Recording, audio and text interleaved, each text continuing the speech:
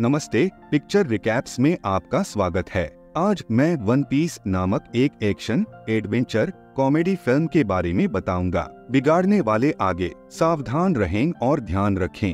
लफी को अपना बचपन याद आने लगता है और वह कैसे कहता रहता था कि वह एक समुद्री डाकू बनेगा। लेकिन गारप उसके साथ दुर्व्यवहार करता था और उसे डांटता था और कहता था कि उसे नौसैनिक बनना होगा। गारप तोप के गोले दागता रहता है और लफी जवाबी हमला करने की कोशिश करता है, लेकिन वह प्रयोग करने में विफल रहता है। तो गारप उन्हें आत्मसमर्पण करने के लिए कहता है, और जब लफी मना कर देता है तो गारप अपने हाथों से एक तोप का गोला फेंकता है। केवल लफी अपनी शक्तियों से उसे विचलित कर देता है। इससे समुद्री जहाज़ का पाल नष्ट हो जाता है, और कोबी हेलमेट पो को पकड़ने से पहले ही उसे दूर धकेल देता है। यह गोइंग मैरी को कोहरे में नौकायन करके भागने की अनुमति देता है। कुछ समय बाद, गारप ने समुद्री डाकू ड्रैकुला को बुलाया, जो लड़ाई के बीच में है। गारप ने लफी का शिकार करने के लिए ड्रैकुले को काम पर रखा और ड्रैकुले ने अपने दुश्मनों को हराते हुए स्वीकार कर लिया और जहाज़ को आधा काट दिया। दुश्मन नेता ड्रैकुला को गोली मारने की कोशिश करता है, लेकिन वह अपनी तलवार से प्रक्षेप्य को काट देता है और तुरंत उसे मार डालता है। गारब की बातचीत कोरबी ने सुन ली, जो हेलमेट पो से इसके बारे में पूछता है। हेलमेट पो बताते हैं कि ड्रैकुले समुद्र के सात सरदारों में से एक है, जो इतने शक्तिशाली समुद्री डाकू हैं कि नौसैनिकों को हराना संभव नहीं है, इसलिए वे उन्हें उपयोगी सहयोगियों के रूप में अपने पास रखते हैं, सरदार गंदा करते हैं।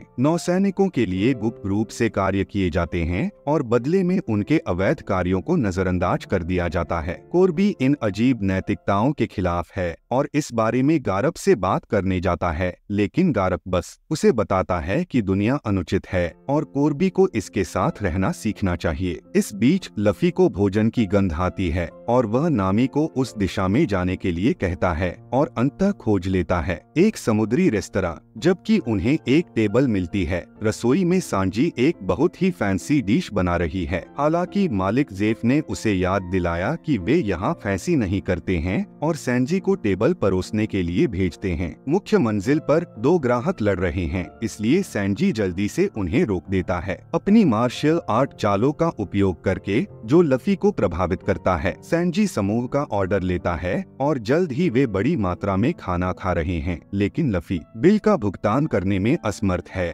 इसलिए जेफ ने उसे अपना कर्ज चुकाने के लिए एक साल के लिए नौकर के रूप में काम करने का आदेश दिया। लफी बर्तन धोने के लिए रसोई में जाती है और सैंजी के पकवान का स्वाद चखती है। इस बीच नामी अच्छे दल की भूमिका निभाते निभाते थक गई है और इसके लिए वह एक नाविक के साथ एक सौदा करती है। अकेला छोड़ दो। बाद में सैंजी के ब्रेक के दौरान लफी ने उसे बताया कि उसे उसकी डिश बहुत पसंद है और उसने उसके सपने के बारे में पूछा। सैनजी बताते हैं कि वह ऑल ब्लू पौराणिक महासागर को ढूंढना चाहते हैं, जहाँ दुनिया के चार समुद्र मिलते हैं क्योंकि उन्हें वहाँ दुर्लभ सामग्रियाँ मिल सकती हैं। उस समय ड्रैकुले के हमले से जीवित बचा एकमात्र व्यक्ति बुरी हालत में आता है और सैनजी तुरंत उसे खाना खिलाता है भले ही वह जानता हो कि जेफ इसे स्वीकार नहीं करेगा क्योंकि वह आदमी ऐसा नहीं कर सकता वेतन, लफी फिर से प्रभावित हो जाता है और सैनजी को अपने दल में शामिल होने के लिए आमंत्रित करता है, लेकिन वह उसे अस्वीकार कर देता है, क्योंकि वह जीव कारिणी है। जल्द ही ड्रैकुले भी रेस्तरा में पहुँचता है और लफी के बारे में पूछने लगता है। उसे दुनिया के सबसे महान तलवारबाज के रूप में पहचानते हुए, जोरो ने ड्रैकुले को भोर में द्वंद्व युद्ध के लिए चुनौती दी। इस बीच रसोई में, लफी जेफ को बुलाता है, क्योंकि वह सैनजी को उसका सपना नहीं देखने देगा, और उसे बताता है कि सैनजी ने खोए हुए आदमी को खाना खिलाया है, जो जेफ को प्रभावित करता है। अगली सुबह नामी नक्शा चुरा लेती है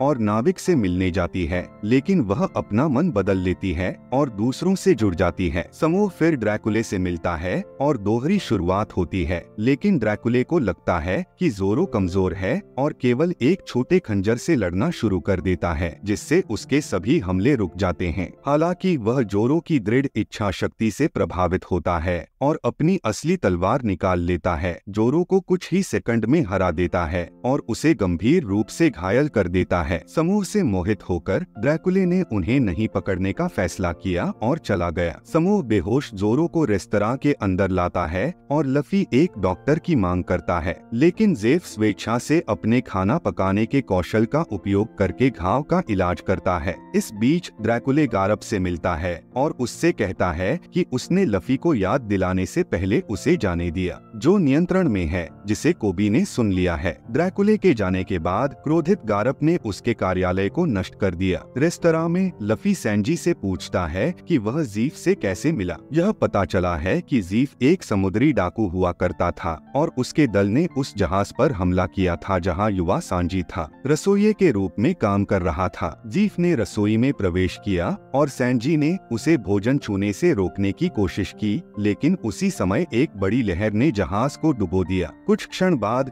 सैंजी जाग गया और उसने पाया कि वह और जेफ समुद्र के ऊपर एक चट्टान पर फंसे हुए थे। जीफ जहाज़ से भोजन के दो बैग लाया और लड़के को चट्टान के दूसरी ओर भेजने से पहले एक बैग सैंजी को दिया और बड़ा बैग अपने पास रख लिया। जैसे जैसे दिन बीतने लगे सांजी ने भोजन की उचित मात्रा बढ़ानी शुरू कर दी, अंततः उसे सड़ी हुई रोटी खानी पड़ी। पच्चीसवे दिन सैंजी ने एक जहाज़ देखा और उस पर चिल्लाया, लेकिन तूफ़ान के कारण उसकी बात नहीं सुनी गई। एक दिन सत्तर साल की उम्र में सैंजी भूख से थक गए और दूसरा बैग लेने गए तो उन्हें पता चला कि वह खजाने से भरा था। जेफ ने उसे बचाने के लिए उससे झूठ बोला और इस पूरे समय वह उसका पैर खाकर खुद को जीवित रखता रहा। बाद में पचासीवे दिन दोनों को बचा लिया गया। कुछ समय बाद अरलोंग और उसके गुर्गे रेस्तरा में पहुँचे। वे बिना अनुमति के घुस आते हैं और पूछने से पहले ही लोगों को उनकी सीटों से धक्का दे देते हैं। लफी जिसे नामी ने सुन लिया। जबकि जीफ उन्हें भोजन से विचलित करने की कोशिश करता है।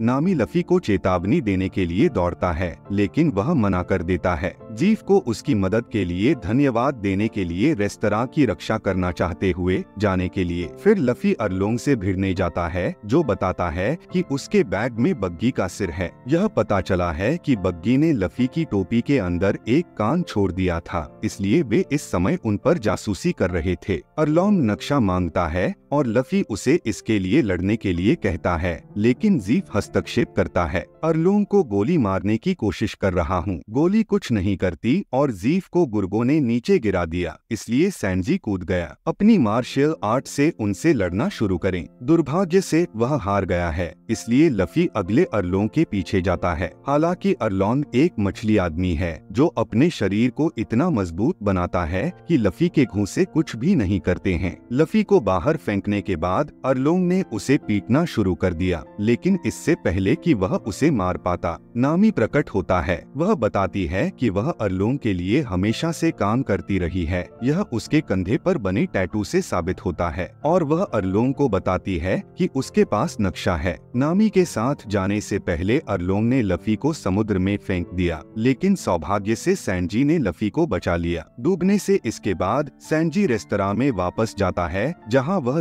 जेफ के साथ बहस करता है, जो चाहता है कि वह अपने सपने को पूरा करने के लिए नौकरी छोड़ दे। लफी और उसोप अपने जहाज़ पर लौटते हैं और पाते हैं कि जोरो आखिरकार जाग गया है, इसलिए वे नामी की तलाश में जाने के लिए तैयार हो जाते हैं। सैंजी जहाज़ के रसोइये के रूप में उनके साथ शामिल हो जाता है और जीफ तमय भावनात्मक रूप से अलविदा कहता है। तब लफी ने खुलासा किया कि उसने अरलोंग से बग्गी का सिर ले लिया है और वह मार्गदर्शन करने के लिए सहमत हो गया है। उन्हें अरलोंग के मुख्यालय में ले जाया गया क्योंकि इस तरह वह अपने शरीर के साथ फिर से जुड़ सकता है, जब भी बग्गी बहुत परेशान हो जाती है। जोरो सिर को पानी में फेंकने या ताला लगाने की धमकी देता है। उसे एक बैरल में, इस बीच नामी अरलोंग और उसके आदमियों का पीछा करते हुए कोनोमी द्वीप समूह में वापस चला जाता है, जहाँ वे हैं।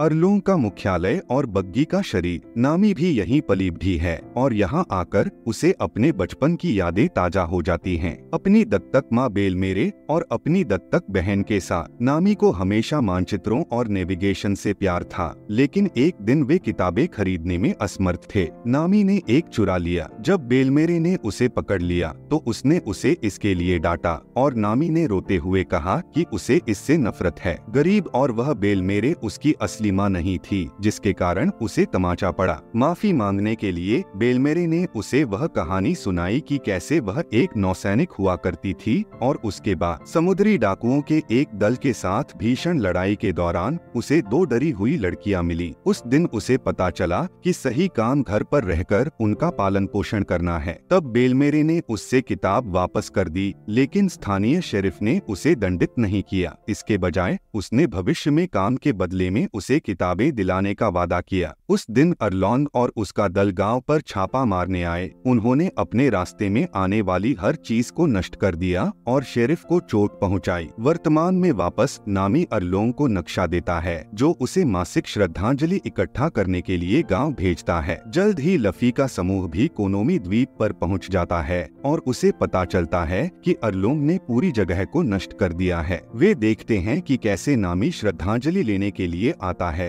हालाँकि ग्रामीणों के पास नहीं है। भुगतान करने के लिए पर्याप्त एकमात्र व्यक्ति जो उसके खिलाफ खड़ा है, वह उसकी बहन नोजिको है, जो जाने से पहले ज़मीन पर थूकती है। पैसे लेने के बाद नामी ने लफी और अन्य लोगों को नोटिस किया और उन्हें बाहर निकलने के लिए कहा क्योंकि उसे उनकी मदद की ज़रूरत नहीं है। एक बार जब वह चली गई तो लफी ने घोषणा की कि वह हार नहीं मान रहा है और जवाब मांगने के लिए नोजिको को खोजने जाता है। नोजिको एक हथियार के साथ समूह से मिलता है, लेकिन सैनजी उसके लिए खाना बनाने की पेशकश करके उसे शांत कर देता है। भोजन से प्रभावित होकर नोजिको ने उन्हें बाकी कहानी सुनाई। जब समुद्री डाकू गाँव में पहुँचे तो अरलॉन के श्रद्धांजलि मांगने आने से पहले बेलमेरे ने अपनी बेटियों को तहखाने में छिपा दिया। बेलमेरे ने केवल एक व्यक्ति के लिए भुगतान किया। हालाँकि अरलोंग ने मेज पर तीन व्यंजन देखे और अधिक की मांग के लिए बेलेमेरे पर हमला किया। लड़कियाँ तुरंत अपनी माँ का बचाव करने के लिए बाहर आईं और फिर बेलेमेरे ने अरलोंग से कहा कि यह पैसा लड़कियों की श्रद्धांजलि के रूप में गिना जाएगा। चूँकि वह अपने लिए भुगतान नहीं कर सकती थी अरलोंग ने उसे मार डाला। इस कहानी को सुनने के बाद लफी को और भी यकीन हो गया कि नामी बुरा नहीं हो सकता और ऐसा कुछ है, जारी है। इस बीच नामी अरलोंग लौट आता है, जो एक पार्टी कर रहा है। वह उनके सौदे के बारे में बात करना चाहती है, लेकिन मरीन कैप्टन नेजुमी ने अचानक उन्हें रोक दिया, जो सामान्य रिश्वत लेने आया है, जो उसे अरलोंग के अपराधों को नजरअंदाज करने पर मजबूर कर देगा। नामी यह सब सुन लेती है और नेजुमी के पैसे लेकर चले जाने के बाद वह अरलोंग से कहती है कि वह आखिरकार है। अपना सौदा समाप्त करने के लिए पर्याप्त नकदी मिल गई और अरलोंग ने स्वीकार कर लिया। हालाँकि नामी के पैसे वापस लेने के लिए जाने के बाद अरलोंग नेजुमी को उसके पीछे भेजता है। फिर नामी अपनी माँ की कब्र पर वर्षों से चुराई गई सभी चीज़ों से भरा एक संदूक खोदने जाती है। नोजिको उसे ढूंढता है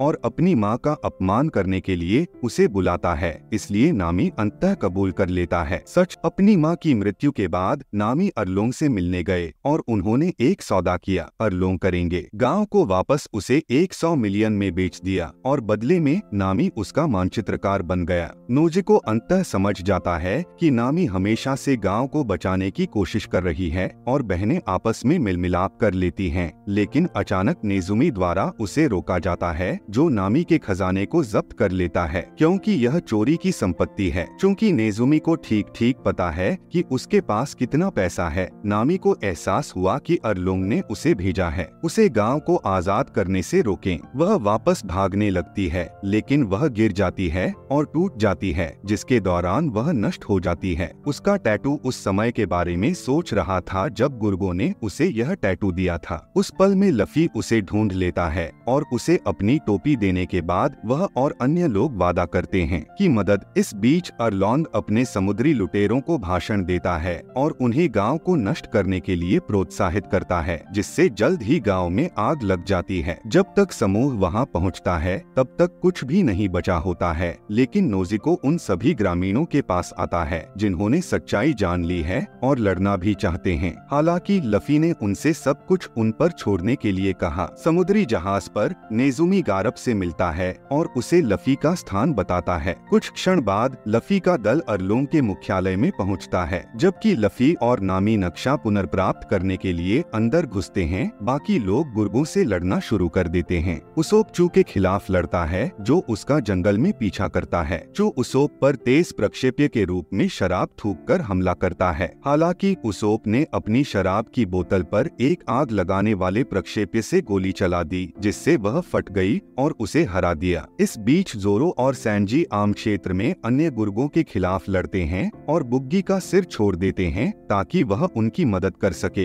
हालाँकि जैसे ही उसे अपना शरीर वापस मिलता है, बुग्गी भाग जाता है। उसी समय कुरूबी आता है और फिशमैन कराटे का उपयोग करके हमला करता है और जोरो को आसानी से हरा देता है। कुछ हिट के बाद सैनजी ने अपनी ब्लैक लेग स्टाइल दिखाने का फैसला किया और कुरूबी से भी लड़ाई की और उसे हराने में कामयाब रहा। ऊपर, अंदर लफी और नामी को नक्शा मिलता है, लेकिन उनका सामना अरलोंग से होता है, जो लफी के कंधे पर अपना ब्लेड मारता है। लफी ने तुरंत इसे तोड़ दिया और नामी को बाहर निकलने के लिए कहा ताकि वह अरलोंग से लड़ना शुरू कर सके। लफी उसके मुँह पर मुक्का मारने में कामयाब हो जाता है, लेकिन अरलोंग के दांत तुरंत फिर से बढ़ जाते हैं। पिछली बार की तरह, लफी के घूसे अरलोंग को चोट पहुँचाने के लिए पर्याप्त मज़बूत नहीं हैं, इसलिए वह इसके बजाय इमारत को नष्ट करना शुरू करने का फैसला करता है। जैसे ही दीवारें ढहने लगती हैं, लफी कुछ मुक्कों से अरलोंग पर हमला करता है और फिर एक तकनीक का उपयोग करके उसे कई मंजिलों तक घसीटता है जिससे इमारत ढह जाती है। बाहर का समूह लफी के बारे में चिंतित है लेकिन वह जल्द ही अपनी जीत की घोषणा करते हुए मलबे से बाहर आता है। शाम को गाँव में अपनी आज़ादी का जश्न मनाने के लिए एक पार्टी होती है। मरीन द्वारा पार्टी में अचानक बाधा डाली जाती है और गारप उन्हें लफी के समूह को गिरफ़्तार करने का आदेश देता है। कोबी और हेलमेप्पो ने आदेशों का पालन करने से इनकार कर दिया। इसलिए गारप खुद लफी के पीछे जाता है और शुरू करता है। एक लड़ाई, एक भयंकर युद्ध शुरू हो जाता है, लेकिन लफी गारप को हरा नहीं पाता है, जो तुरंत उसे पकड़ लेता है और उसे हार मानने के लिए कहता है। लफी ने अपने सपने को छोड़ने से इनकार कर दिया।